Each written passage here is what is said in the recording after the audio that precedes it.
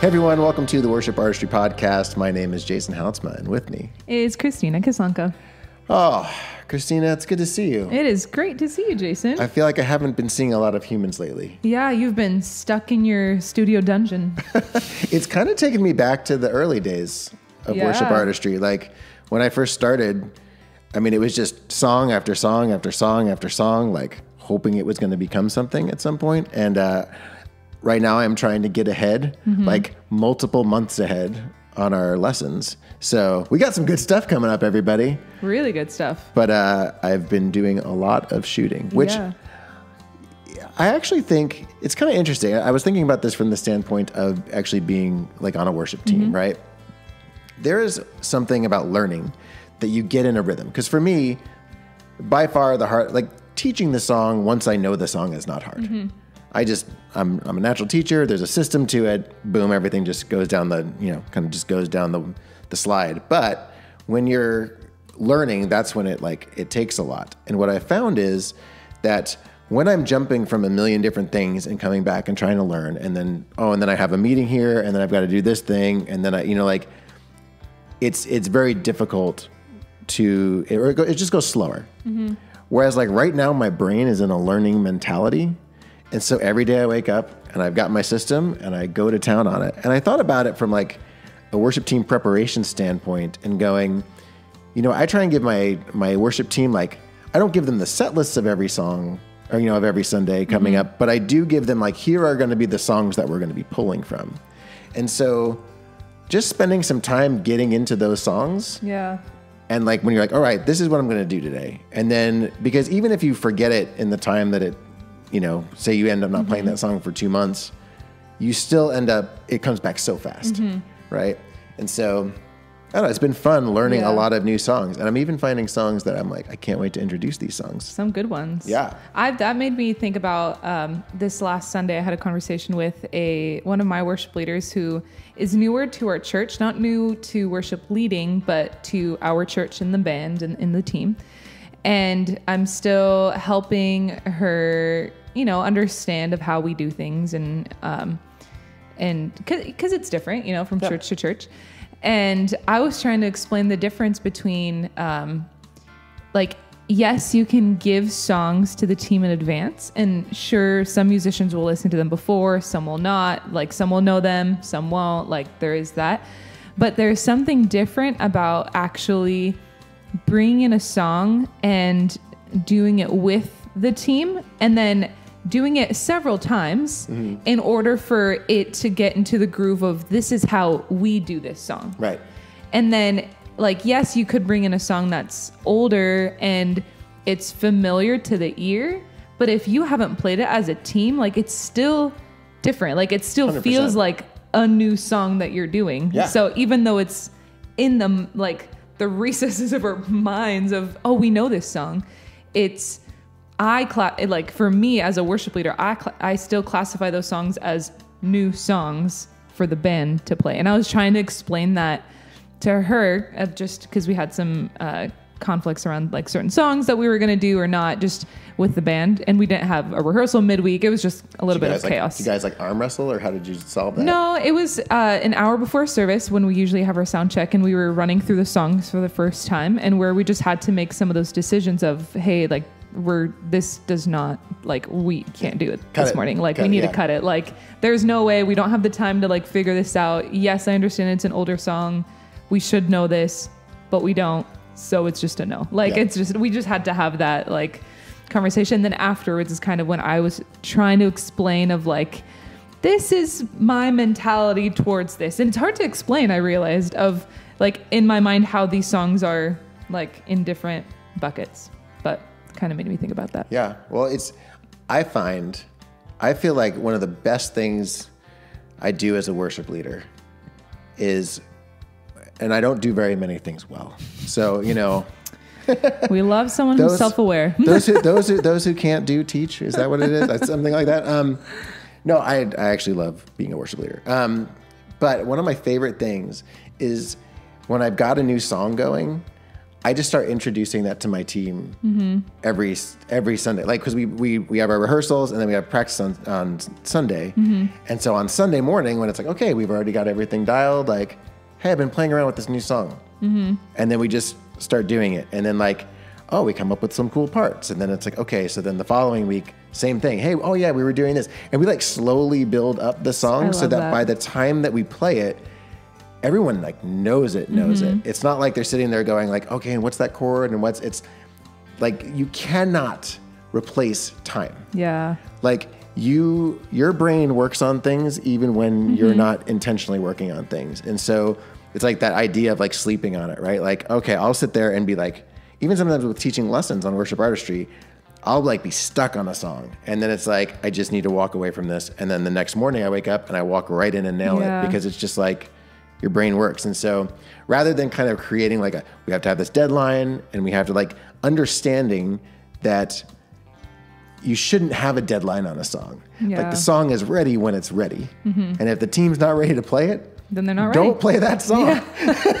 yeah yeah it's yeah that's that's really good I, I i love also the progression of even thinking about when we just do a song for the first time and then the way that we're doing it with the band like a few months later or maybe or maybe not even months but several times later have how the original arrangement like yes we try to copy whatever arrangement you know is the original but then by the fifth time that we, we do it it's our arrangement by that Right, point. like right. we've already made it our own. Like we have our, our like our grooves and our the way that we lead it the way that we play it. Like i love it like those are my favorite versions of the songs like Oh, for sure. like five times down the road like this is this is the way that i like this song Right. and then i'll listen back to the original i'm like nah we do it better like i actually like the way that we do it totally. No, I, I understand completely. Yeah. That's the I mean, that is so the idea. And I I feel like I feel like that idea gets lost a lot. Like Mm-hmm.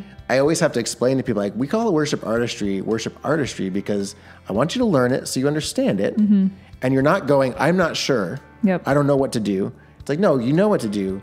Now go do something else with it, right? Yep. Like you can operate from a from a space of confidence. But Yep. well, uh, you know, speaking of new songs, we have um, a great guest today. Uh, my friend Gilbert Nanlohy, who is a he's the director of A and R at Integrity Music, and I wanted to have him. I, I got in a great conversation with him when I was out at doing the Anchor Hymns thing. Uh, you know, I was staying in Nashville longer than most of the artists because I was meeting with the teachers, and so we got done. I was like, "Hey man, you want you want to go like grab some lunch or something?" And he's like, "Yeah, let's do it."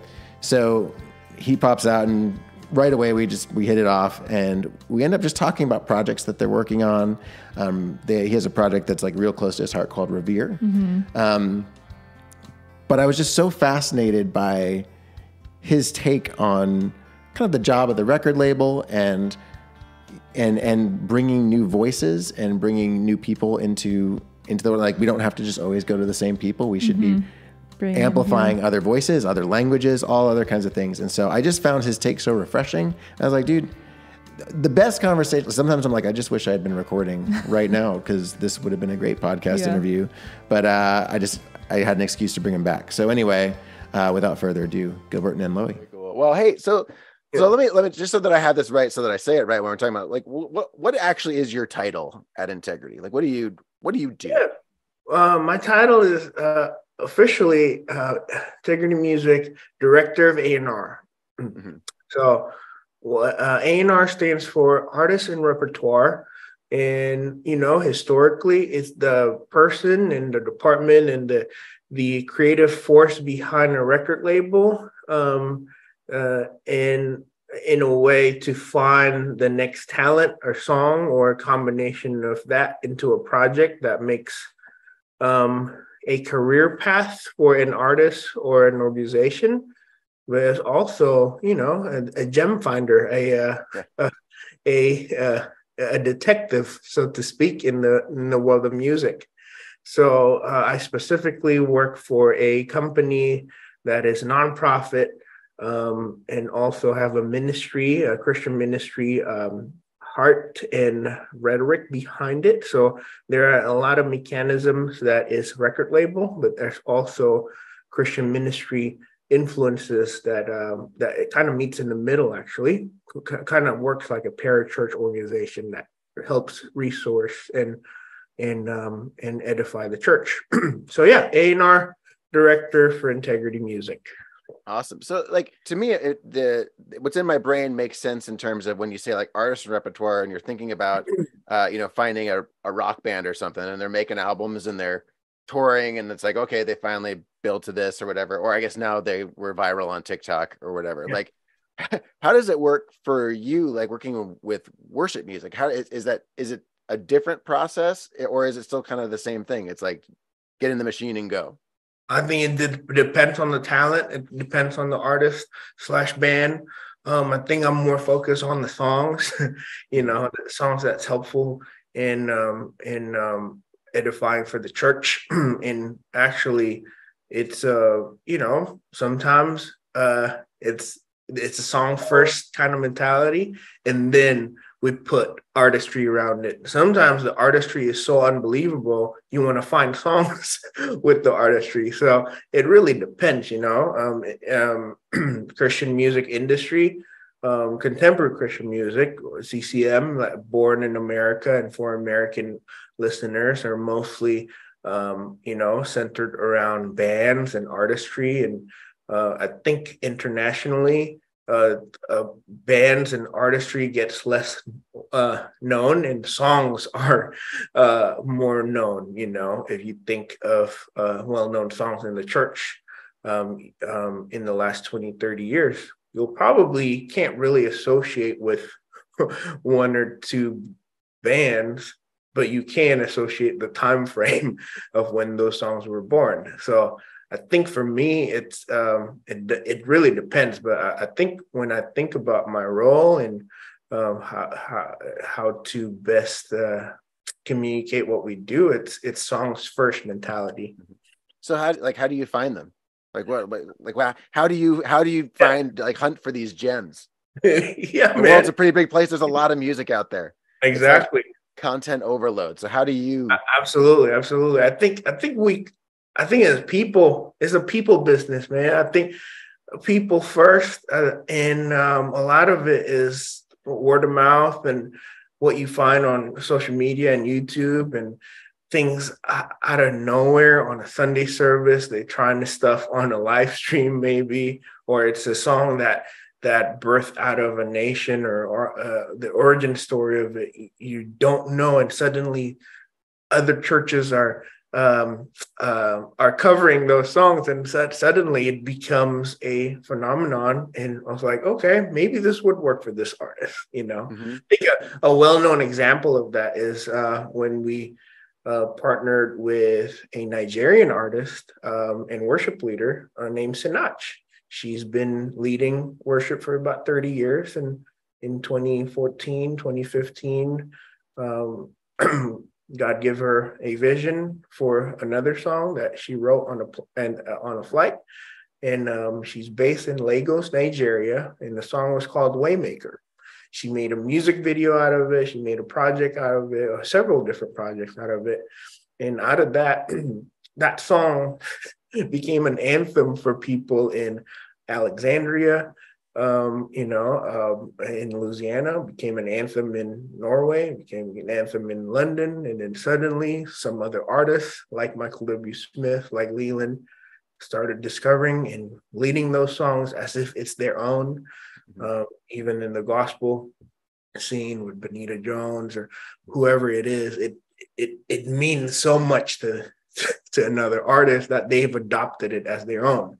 And that's an example, one example of, I think, a beautiful cross pollination of how things could, uh, to and uh, you know, asp- aspire. You know, it's like a, song born more than ten years ago, close to ten years ago, and then um, and then in a, sh- a few short years, were not only covered but it was carried in a way uh, that is so global. And so when uh, when a world event like a pandemic happened, it just so it just seems so appropriate that that mess the message of that song is is uh, is global in nature. So that's I think that's one of the examples of how we look at songs and how it travels. And those are that's a rare case where, you know, in in um 40 years of CCLI history, there is a Nigerian woman wrote a number one CCLI song, you know, and CCLI being a barometer of how how how far and how uh, in the reach of a song could be. So yeah. that's that. I think that's a powerful testimony of uh, your gift can take you so many different places, and with the powerful tool that is the internet and just people's heart um, um, joining with one message and one song that you know that's a that's a good example of it. Um so yeah so so that, that i hope that answers your question. Yeah no I, well the thing i thought was so interesting about waymaker was not only that it was such a powerful song but it yeah. it's a very different song. It doesn't really follow the kind of standard this is what this is what a song is supposed to do. It's it actually has like the the the chorus isn't this like big belting thing. It's like this rhythmic like almost yeah. chugging that kind of like takes over. Um, yeah.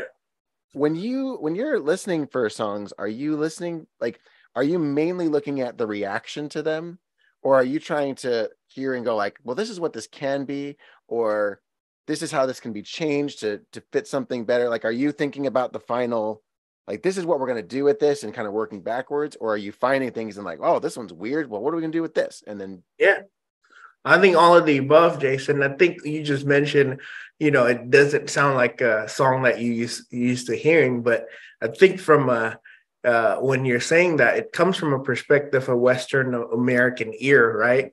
Right. And, uh, but what about the rest of the world that doesn't hear like you or I, or you know? So it just it's a, all of the above of it. It has it, from from from a stance or from a perspective of okay, it has the right message, but the melody isn't there for this type of audience. But or the melody is so good, but the lyrics the lyrics isn't you know uh, um, isn't as um, digestible as we're used to in pop terms. Mm-hmm.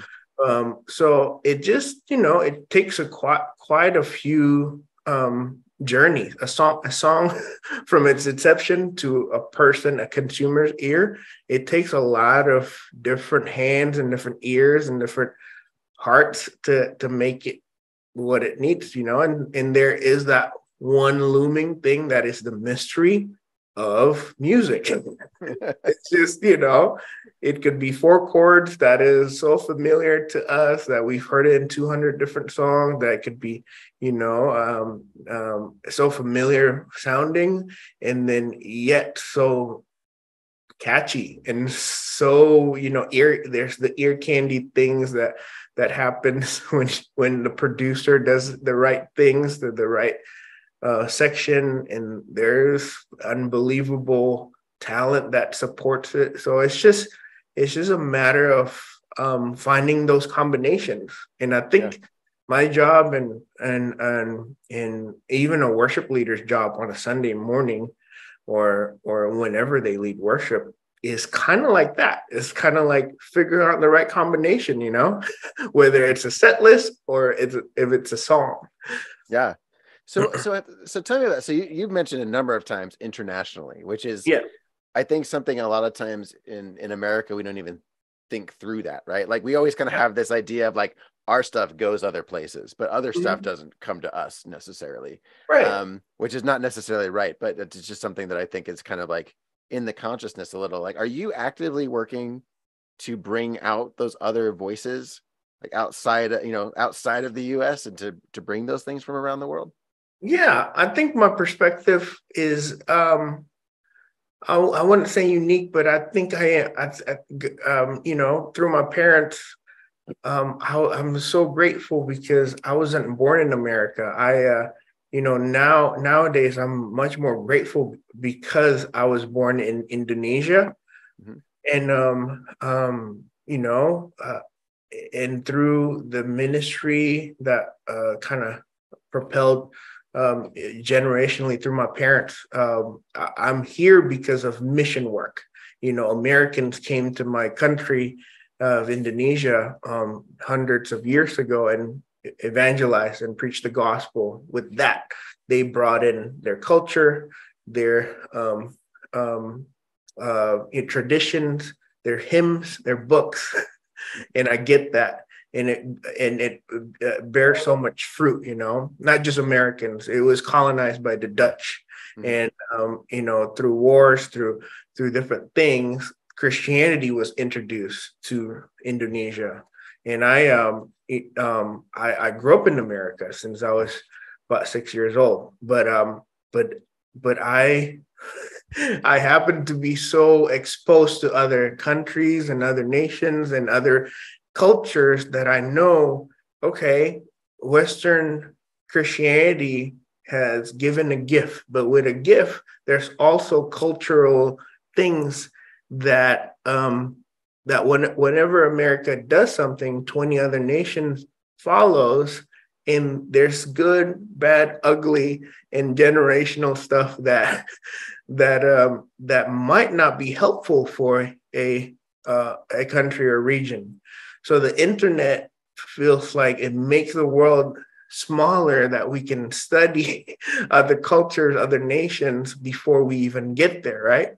Mm-hmm. Um, but the superiority of American westernized church and the industry surrounding it, I think, um, is becoming aware that there are other places that ex- is expansionally uh, experiencing the move of God in a different way than how Americans evangelize and you know basically preach the gospel. And I think it's beautiful. I think it's it needs to be embraced. And I think my job is finding those um, um, those hidden gems around the world and then seeing if it translate you know uh, in what we call the two high the two sides highways of songs is, is the best way I could contribute to society, in my opinion, is by finding those hidden gems and co-laboring with them. Um, the, the, the latest thing I've done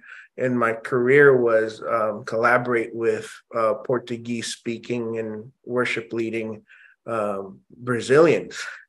um, and um, last year we brought about 19 um, Brazilian content creators, worship leaders, worship artists, worship writers, and collaborate with them to unlock that. Uh, that that song of theirs, you know, um, that, that um, and co-writing is not, uh, you know, is not widely uh, known, and and and for some cultures, and you know we have to be respectful of that. Um, so so next month i'm going to sweden to to um, to to celebrate the the pop music gift that they've given us through through years and decades of great great sounding uh, melodies. And what about the reverential worship message that um, that my that what that my group can bring in you know? So what i call that's what i call cross pollinating um you know? And and it just brings beauty into into into into the church. Um and the best thing the best compliment or the best thing that we can ever hear is a church or a you know a group of people that's inspired by this kind of music but they didn't know where it came from. Mm-hmm. but but at the same time, I want them to know where it came from. I want them to know where Waymaker came from. It didn't come from America or Australia or the UK. It came from Lagos, Nigeria. Mm-hmm. So hopefully, when they, um, you know, hear how Holy Hallelujah or Risen Savior or some of these songs that you might not heard of, but I'm mentioning, uh, it came from Brazil. It came from Sweden. It came from Mexico. It came from other, other places where there are Jesus loving people trying to figure out life and they happen to write something that works for uh, Jason in Bellingham, Washington. so so do you feel like there's there is um you you mentioned you mentioned the word so I'd like to dig into it a little bit more like the idea of translating not just through language but even just musically you know it's like when I teach songwriting or when I'm yeah. you know like going through those things it's always like songwriting is communication and it's like we're right. trying to communicate something. And i think a lot of the challenge sometimes is you know it's like oh i've got the song but you know like how do i produce it in a way that somebody can hear it? And like there's there's all these like pieces of it. Like how do you do the how do you translate the music over into into different cultures and like uh, allow them to cross pollinate so that it's not something that pops over and people are just like I don't like that because it's they just don't it's it's unfamiliar. Like do you have to kind of familiarize some of it? Right. I think it's trial and error. I think it's the right producer for the right project for the right season for the right time. You know, uh, and some melodies, some instruments are not familiar to the ear, but it, you know, music moves by one degree shifts, just like um, just like uh, any any movement. So um, I'm giving you an example. Maybe ten years ago, the reggaeton sound, where mm-hmm. it's the is the um, uh, bass, uh, the kick and the snare when it goes things like that. It wasn't it wasn't popular in pop music, but now it's the standard, right? Mm-hmm. So, so those Afrobeats influence or Latin or even African kind of rhythmic things are introduced by someone and then someone else makes it better someone else makes it better that's just how music works you know um, but the best music is something that someone could pick up a guitar or go on piano or harp or saxophone and they someone could instantly know what that is. Mm-hmm. Um, so it's the same thing for it's the same thing as a as a you know a timeless lyric. We'll, we'll we won't ever stop uh, you know um, um, singing Amazing Grace or mm-hmm. or or in Christ alone or whatever the evergreen um, uh, songs are for for worship music music today. But those those are things that are beyond our control and that we can serve to the church, serve to the consumer of Christian music or worship listeners and and just just try you know i think i think though um many in many ways we we are stuck in a formulaic formulaic uh approach um uh sometimes because oh we know this will work that's the first song and the second and then right before the preacher gets on you know th- this would work too and then if it's a baptism sunday this would work after baptism so it's it's in the formula in our heads that it's like an event, right? So we're mm-hmm. trying to, uh, you know, uh, uh push um, our ideals into that box. But there's so many subject matters in Christianity in living uh, as an adult in 2023, or even as a kid, that we don't sing about. You know, uh, so I'm interested in those things too, and I hope through um, through through work like this, we can kind of push a little bit and a little bit and a little bit, and then okay, five years from now, we can talk about these things. We we yeah.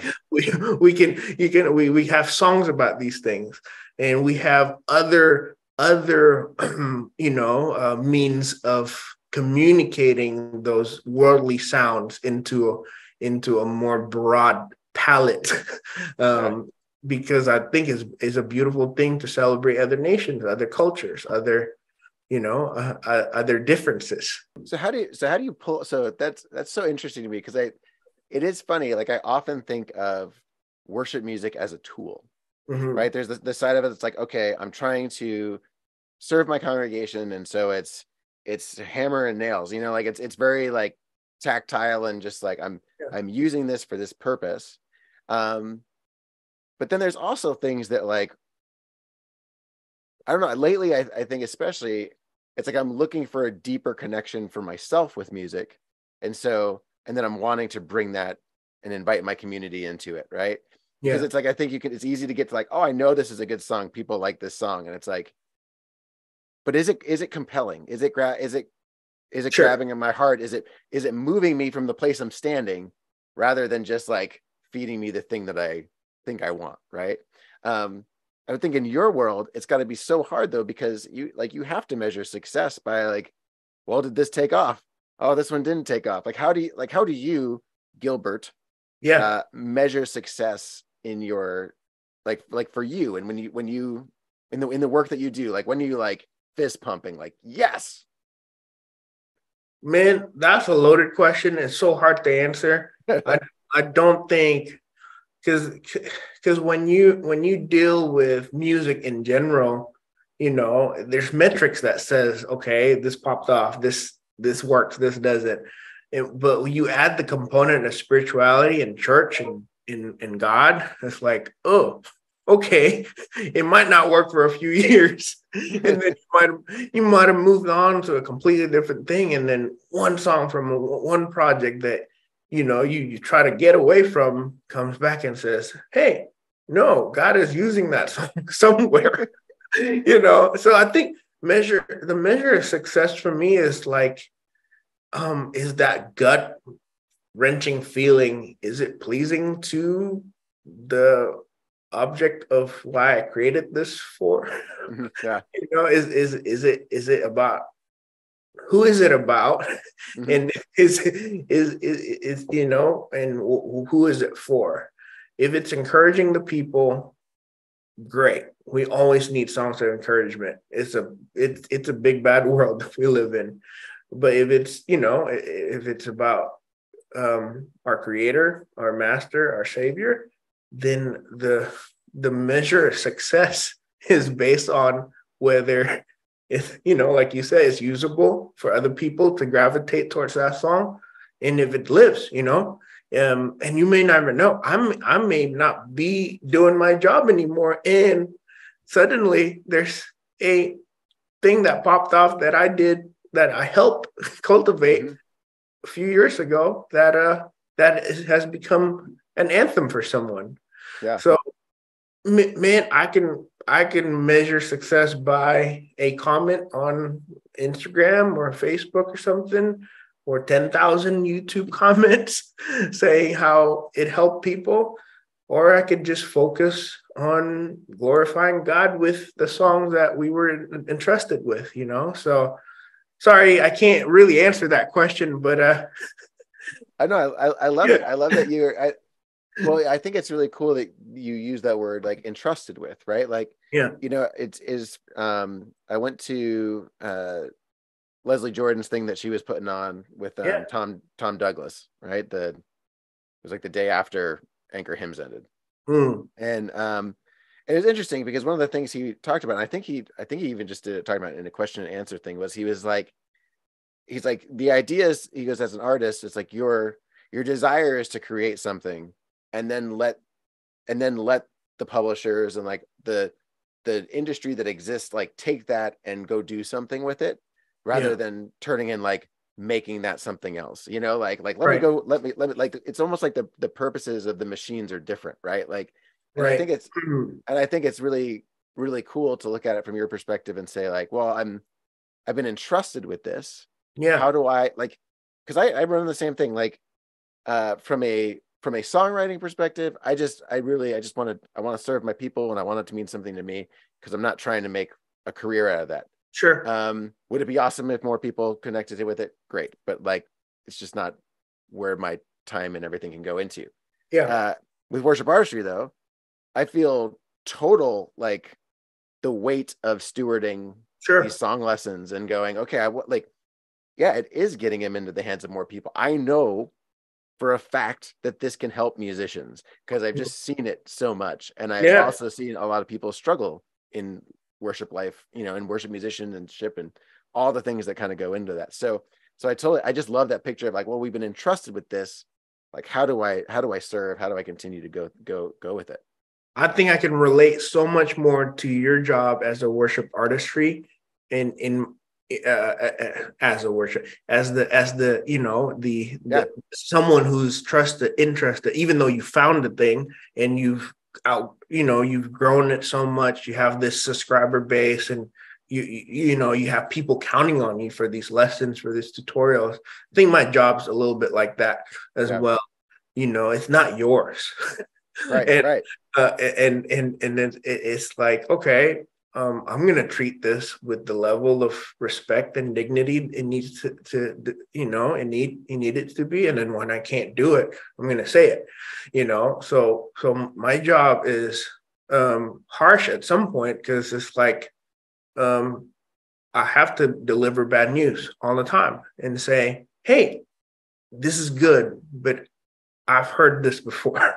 hey, Right. this is good, but where were you and what were you doing when you uh, wrote this? And do you think it's helpful for the church? It's just poking around the, um, the for the best thing, for the best offering to the king, you know? Mhm. And um, and as for you as a songwriter, um, you know, I can relate as well because a lot of the things that um, a lot of the instincts that makes my job as uh, a and R or whatever, as you as uh, as uh, the the you know the the founder of worship artistry is because I am a songwriter, I am a musician, so it, that's where you develop taste. That's where you develop, you know, your your sense of um, your sense of intuition. So the the the the factor that we're we haven't talked about here is the instant feedback that we get as soon as we release something.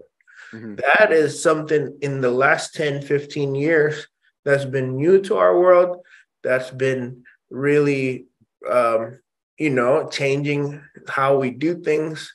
And that's, you know, uh, from one perspective, it cuts the middleman from another perspective, it brings another host of opportunities to make content.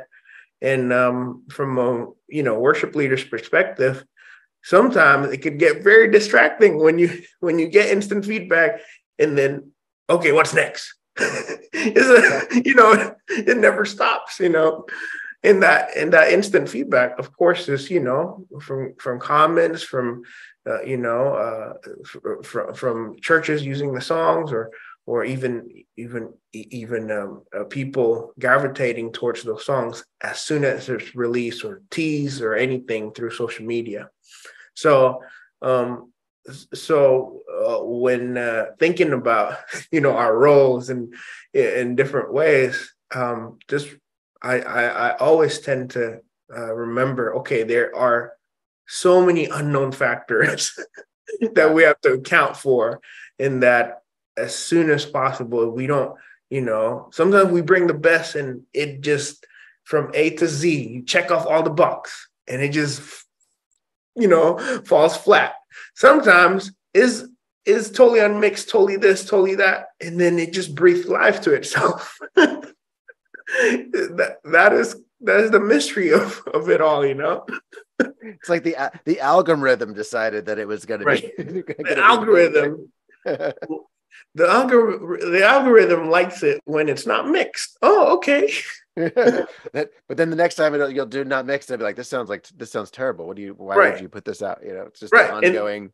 And then if if if if it becomes successful unmixed, there's a host of people that's gonna do the record, uh, that kind of record, and say, "Oh, they didn't mix it." Or whatever, Oh, maybe Yeah. that's the style. So we're gonna follow it. So it becomes a genre of unmixed music by itself. I'm just using that as an example, but it happens. So do you do you feel like so? How much are you reacting to what you see happening Mhm. versus kind of plotting a course and and going and going towards it? Yeah, I think I think um I think I don't live in the present. I live either in the past or or in the future. But um um I'm I think uh my the nature of my job dictates to towards the future and plotting and something anticipating something that hasn't happened yet or you know the grumblings of it and making sure um that you know um it's whenever we have music or content it not it's not only good but it's like it hits the zeitgeist of society in a way that's compelling that's uh that's you know unique. Um but um but it's it's really hard to not get you know distracted by by what other people are doing currently. So or, or what has worked in the past. The thing is there are no projects that are alike even if you if you if you redo a project that is you know successful or the same format the variables change all the time Yeah. You know um so so so for me it's like okay um good that's that's what they're doing let's keep going with this you know Yeah. uh, until we can't So do you find um so this is probably do you find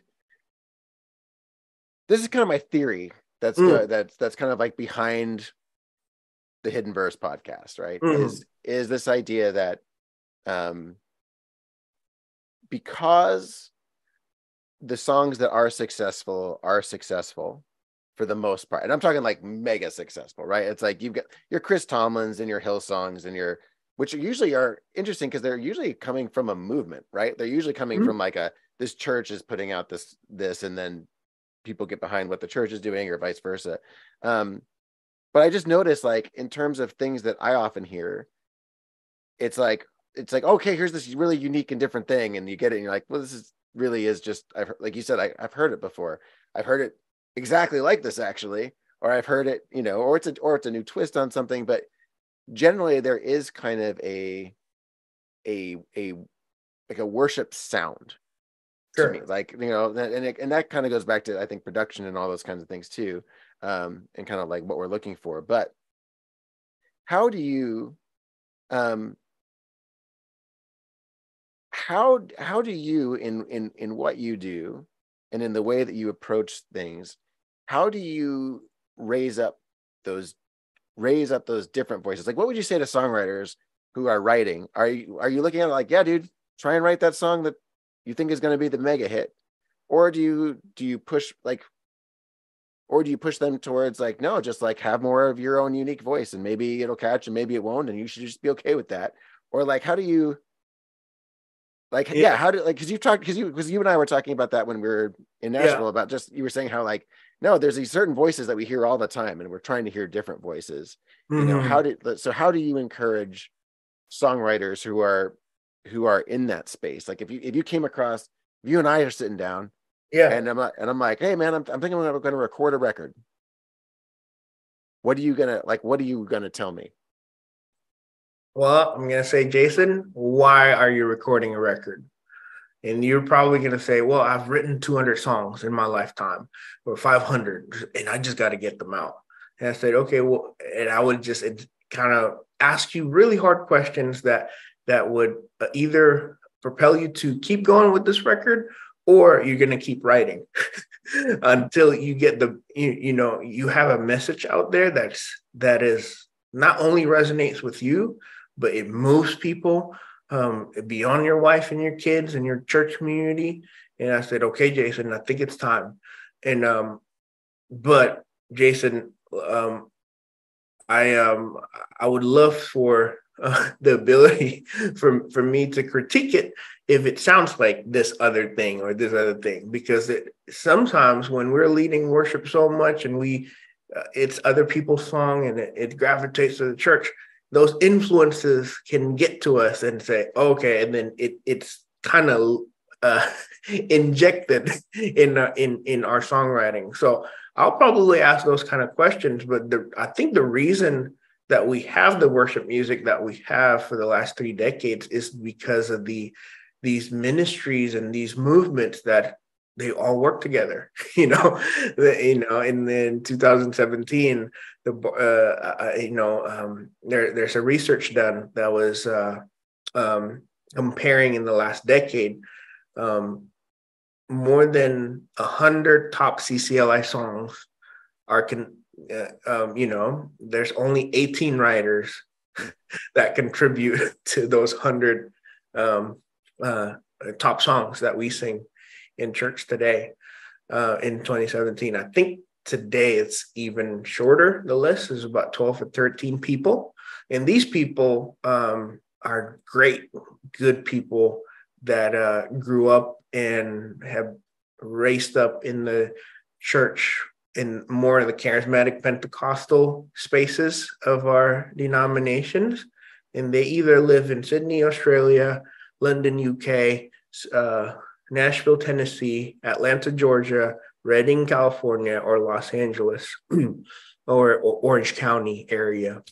Um, six cities that uh, you know represents more maybe affluent, um, uh, westernized, Caucasian, mostly uh, church base that have multiple conferences and uh, merchandising and and things that are uh, that propels them to create songs after songs after songs for various projects, and they all cross pollinate and get together and create more songs for more projects and for more conferences for more things. And these ministries uh, have benefited from um, from them as um, just as they these songwriters benefited from the ministry. Um, but I think that's like that doesn't represent the majority of the church. What about the Catholics? What about the Presbyterians and Anglicans and you know uh, Baptists or maybe uh, some of those are Baptist Costal, you know. Oh, I forgot Seven City. Seven City is uh is Charlotte, North Carolina. um, and I'm sure there's a few peppered in in there, but but my uh, I think um, I, think because of those brands and big personality uh, pastors who are very charismatic, who are you know engaging on social media, and all these different ingredients. Um, the music that we have today is a result of those one degree shifts and ingredients that makes up uh, a uh, network of subculture Christianity uh, uh, and, and worship music genre. It's become a complex of an industry, you know. So it feeds itself. It's it's like a growing uh, organism, you know. So I think my I think my desire and people like me is to expand that, you know, make making sure it's not just the 20% of the church that and and and and um, um, that gets a say in what the whole you know 80% of the church uh, sings but it's um there there's there's more uh, diverse thoughts and diverse uh, lyricism especially around the subject matter of the gospel which is unending unrelentless there's so many subject matters that we can speak and sing and write about. Um, so that, that's kind of my desire, and that's, that's, kind of the data for you, you know, in the last six years of of uh, of how just economics and uh, movements work, you know, and you and I and your listeners know the downfall in the uh, you know every uh, of ministries and uh, not just the downfall, but how how fast a ministry through social media and personalities could grow. But I think uh, I, I, think um, yeah, I think Isaiah said it on chapter four or something, chapter 40, every valley shall be raised up, every mountain and hill made low, the rough ground shall become leveled and rugged places a plain, you know. But at the end of the at the end of that verse, it says the glory of the Lord will be revealed. And um, that's our hope through all these lows and highs and uh, you know, and just think of centuries of Christian uh, messaging, the glory of the Lord gets revealed. So I'm not too worried about the current state as it is, but I am, I do have a burden and I do have like a, like a, a weight of of responsibility and not just me i think a lot of people does too but to uh to make sure there are more um thoughts and interesting ideas about about god that we can we can we we can we, we can say in our in our songs you know yeah well and uh, so this this leads perfectly into um what you're doing with revere Mm-hmm. I, I, think I think there's your your heart so speaks to, you know, like you said, it's like the glory of God. It's the mm-hmm. glory of God, you know, and and and and to just kind of follow up what you know what you're saying there too. Like I am I am very much not coming from a space of of uh this is wrong. No, right? Like I'm not. I'm like no. This is just. It's not complete. It's not there. There's so many more voices that could be heard, right? And like you're so with Revere, you're not only approach like it's it's naturally different by the things that you're doing. So tell me a little tell me about your heart with Revere. What's going on with that? Yeah. Well, I think the history of Revere, I mean, it comes from a point of view slash extensive research of the data, some of the data I was telling you, and a lot of prayer and kind of um, grounding to the fact that worship and worship industry has become a business has become you know a church growth catalyzer. But you look you look in the Bible, there's nothing like the catalytic agency of the glory of God, you know. So his glory, his the, the Lord, when the God reveals himself, it he doesn't need a set list. he doesn't need an event planner or a, you know, a certain time. So so what we're, we're doing in Revere is like our long-term goal is for worship to worship for worship to become worship again so that we're not worshiping worship itself but we worship god you know so it, it opens up ideas and knocks the, the door of the church and um and and we can pivot from the preoccup preoccupation of like contemporary worship music and functional achievement of church growth and and just focus on Jesus. Why why can't we make Christian music, worship music about God? Why does it has why does it have to always be about our pain, our struggles and our you know anxieties and our everything we go through? That's important, but I don't I don't think God exists to help us with that. I think God exists for us to give him glory through our pain and our joy and our sorrow in the human experience. So Revere is so unique because it brings back to it brings back to uh, uh, uh, you know listeners and people who subscribe to the idea of reverential worship uh, on a time where worship was about intimacy with God.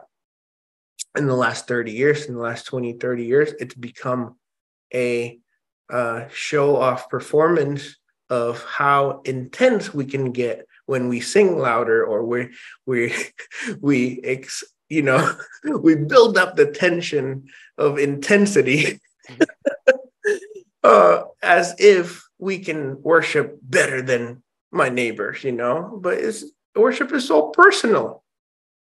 Worship is a lifestyle unto god. Worship is a devotional devotion thing that you know it's like what can we do but surrender right. So, so you know with revere what we what we've done this in the last three years is gather people who are hungry towards these ideals and these ideas and create content based on the reverential worship of god. Um, and hopefully some of those songs can translate to a Sunday morning uh, experience, or even from a Sunday, from a you know Monday to Saturday uh, um, tool as a as, as a lifestyle. So so we're really kind of picky and very very selective on um, the kind of songs that we write and the kind of people that we interact with when um, um, when creating um, master recordings and also the you know every tribe every tongue every nation component to it i think we say it so much in our services in our, our daily context but how do we actually do it so um i think i think that's what revere is and you know, we just made a record with three languages. I don't know if it'll work on the same album, but we did it. And as as much as God allows us to collaborate and uh, and just uh, celebrate different cultures, different people, different types of thinking, we're going to continually to continue to add different languages and different kind of styles into the revere um, you know uh, vocabulary Dude, I love I just love how much you light up the moment you start talking about it. It's it's it's such a beautiful thing. And and the so tell me okay, so tell me a little bit more about like with Revere, are these like projects that are being like are you kind of like are you like how do like what is Revere in terms of like from a structural standpoint? Is it sure. a like an umbrella over like a bunch of different songs or different artists or different churches like is it its own is it a group of people who are all doing this like how like what is the structure yeah. of revere because it, it's not like other things that i've seen yeah it's it's more of an initiative in a form of collective group of different people I think if we can achieve that faceless, nameless type of thing, um, branding wise, it'd be amazing. Where it's the people are not really known, but the songs and the ideas are. So right now, it's thought leaders, is pe- speakers who are authors as well, and worship leaders, producers, basically people who make content. Mm-hmm. Uh, uh, you know, even business thinkers that are part of um, this think tank of okay, how do we glorify God through messaging? You know, through songs. So, uh, you know, from a music standpoint, um, that's how we collaborated, and we basically kind of cross pollinated not just songwriters and songwriters, but songwriters and authors, songwriters and and um, people from other nations, other other uh, you know uh, other perspectives. So um, I would say the most accurate thing is to revere's uh, initiative and a collective. And I hope um, we can build a catalog, a library of thoughts um, around the reverential worship of Jesus.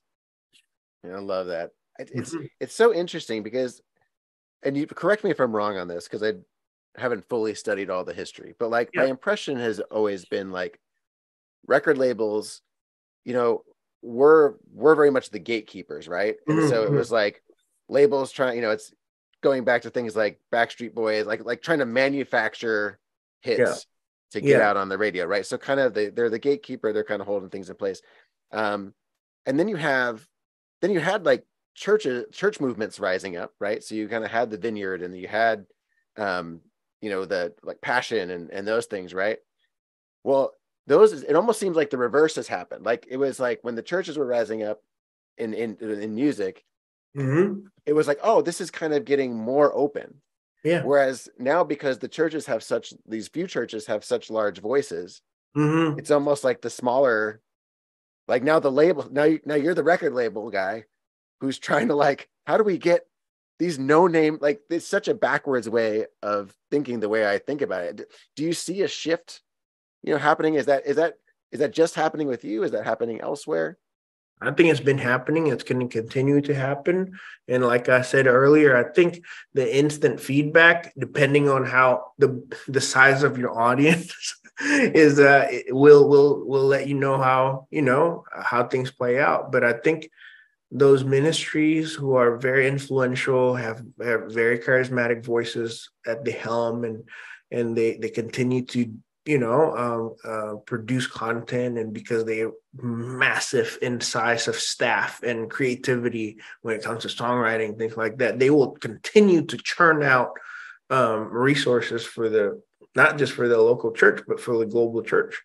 Um, I think um, record um, labels and industry middlemen or or you know gatekeepers, things like that, the roles have changed. We could either amplify what's already happening uh, through social media, what what's been you know what's kind of like uh, been um, uh, okayed by the masses, or we can or we we can find cultivate something and and and uh, and and develop it and and and see if it works or not. But i think it, it's um yeah the metrics have changed so much that you have to listen to what gravitates and what the uh, as as it pains me what the uh, algorithm and the ai is talking about to you know? All these all these mechanisms that make um a song or a product or content go to another to to a to a consumer you know? So the, there's challenges but i think um yes th- those are marketing and sort of uh, uh, influence needs things like that. But i, I think uh, what we're doing with revere is messaging uh, related. It's it's it's more like um you know as endearing and as controversial is a protest. Mm-hmm. It's, it's basically saying, hey, church, can we focus on why we're here in the first place, Jesus? I love it. I love it, man. Yeah. So the focus is different. I think Jason, the focus is different, and I and I think yes, those things matter. Every every single stream, every single view count, every single subscriber, that it, it matters so much. But um, I think what we're doing is um, is messaging um, centered. You know. I love it, man. It's beautiful. Mm-hmm. It's powerful, and it's and it's interesting because, you know, one thing my pastor always says is he's like the method is the message. Mm. You know, like if you have to sit there and explain what your thing is not all the time, like it probably means it is that. You know, like like, and it's like that's what we learn. If we all learn that, you know, uh, you know that the, the that the speaker always has a spotlight on him and a yeah. all the stuff, you know, and is raised up above everyone. It's like, well, you can say like, hey, I'm, you know, there's nothing different about me, and it's like, well, i kind of, like, yeah, you know. And so you guys in like changing your your method a little bit and in trying to raise up these voices and lift these things, it's it's it it it's interesting because it it feels different, and it's different in a way that it's funny because you can watch the videos and it's like they're beautiful and the music is beautiful, you know, and it's like it might take a few times to to to get what's happening, but you feel it happening. You know, even like mm-hmm. musically, you know, I, I think I was telling you, I was like, oh yeah, like if I just heard this and somebody was like, hey, play this at church, like I'd have to sit with it for a while because it's it's not something that I it's not in the style that I normally listen yeah. to. No, I at get the it. Same at the same time though, yeah, it's very captivating, and it is it it is compelling, you know, and mm-hmm. it's and it's it it does feel like something different, and that's yeah, you know why I wanted to highlight what you're doing, and and it's Thank you, man. your heart behind it is just so it's so beautiful, and I I feel the same way. You know, it's it's funny like with worship artistry. Yeah, I you know, there's they're getting this point now where like a song comes across that has a lot of requests. That's like, okay, we need to, you know, we need to do we need to do this, and and then I listen to it and I'm just like, all right, how do we how do we frame this? Because this doesn't yeah. feel like a congregational song to me. This feels like a radio song that's about my personal testimony. Sure, right? sure. Which which is totally like, okay, that's fine, but just kind of pointing to your stuff, it's like it's like this doesn't feel corporate. It doesn't feel like something that we're yeah. doing together. It feels focused on me and who I am and what's going on in my world yeah. rather than what's going on in God's world and how do I how do I partner with that, right? And um, so yeah, so just it's great to come across things that you're like, oh, this just thank you, thank you for what you're doing. I think it's. I think it's awesome, and your heart behind it is incredible. And like I said, you just see you light up, and man, I would love, I'd love for the CCLI Top 100 to have a thousand writers on it instead of six. You know, like yeah, it, it it'd be great. It'd be really great. Yeah, I, and and you know, um, I'm I'm doing things for the future of yeah. what, what's possible, not currently to compete or to say this is wrong or this is this, this is that. There's you know when people and organization comes to a certain um, you know stature, they want to repeat it, they want to continue the momentum. I I totally get it, but um, j- just like your point of view of okay I might not get this song the first time and whatever, but um and, and and try it, but it's captivating still. I think that's the exact approach what, what we're doing with not actually not only the lyricism, but the musical stylings of it. Mm-hmm. And I think from from my point of view, it's to knock on the doors of the church again. What are we doing with our future musicians and minstrels and people who are responsible uh, in the Levitical calling of uh, of the of the church, because the tools that we have, the the very many tutorials that you've done, help so much of what other people have crafted. But what about the genuine creativity of people who who either are you know are beginners or novices or, or, or experts you know? So it just kind of like okay can we hit a gamut of of people in the spectrum a wide spectrum of you know world listeners and gravitate towards each other?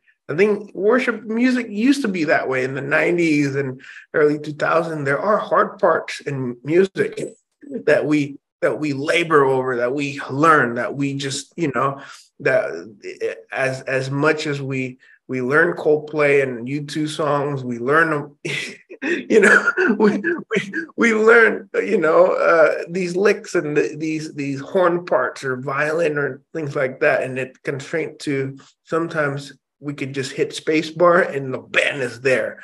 And so how can, you know, saying all that, I'm not attacking anyone or anything.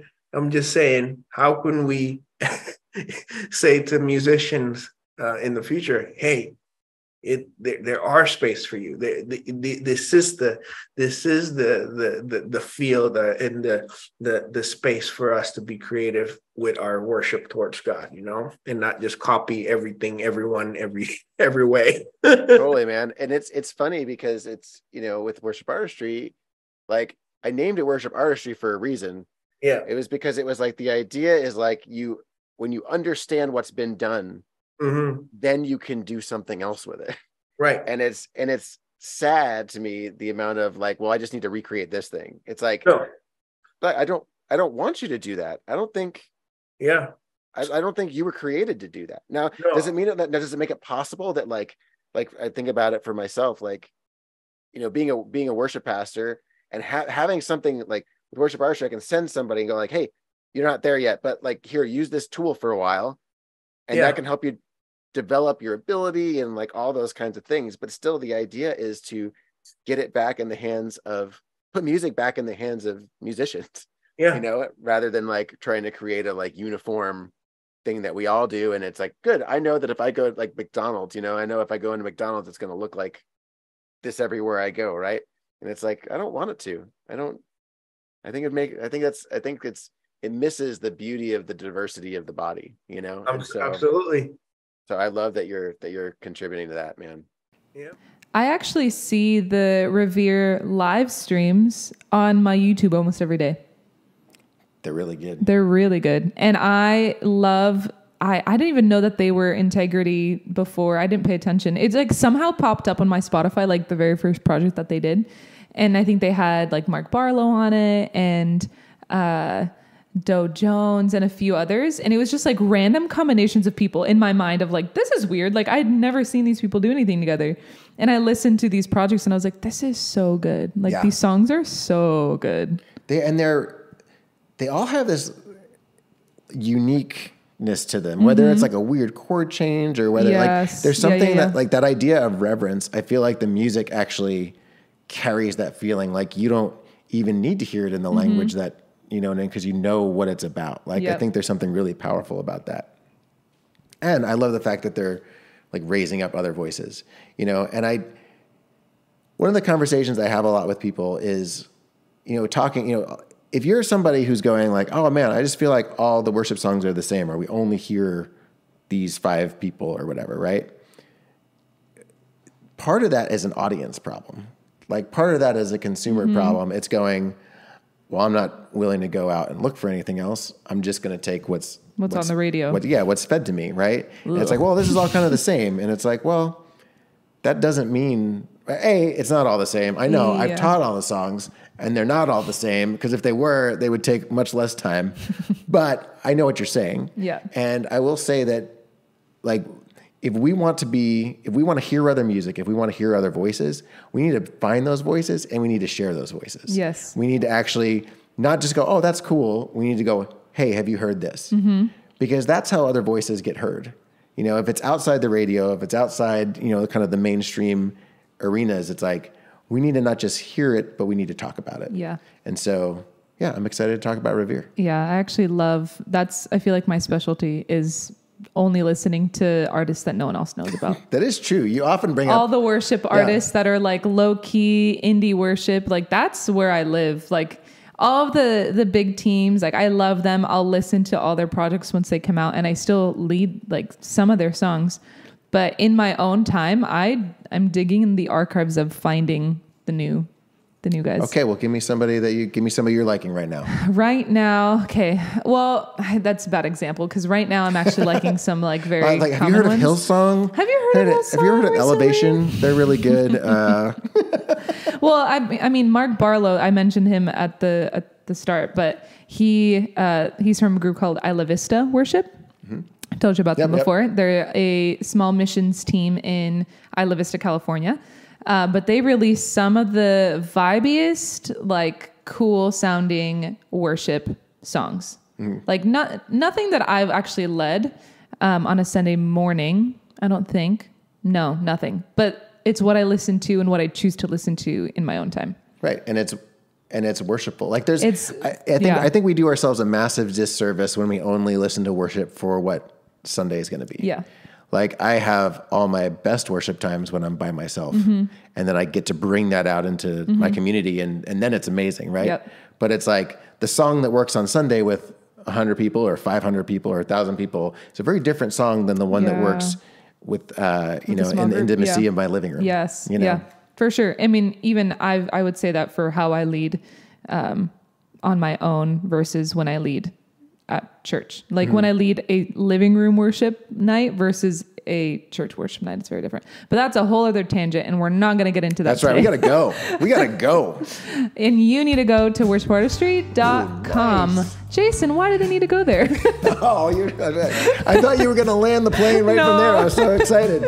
Well, you need to go there because we have over 600 song tutorials Yes. for bass, drums, keyboard, acoustic guitar, electric guitar, and three part harmony. And when Yes. you take those all together, your worship team can sound amazing. And then they can go make the song their own. yes. And that is, don't stop there. Don't stop at just learning the way it is. Make it something that reflects your community. That's what we're most excited about. Yes. And so we will see you next time.